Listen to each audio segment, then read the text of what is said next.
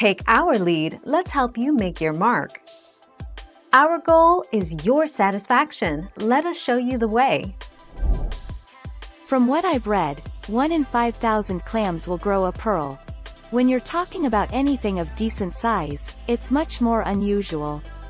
Pearls are not really Kathleen's style of jewelry, so they likely will sell the gem, which could retail for $3,000 or more, he said.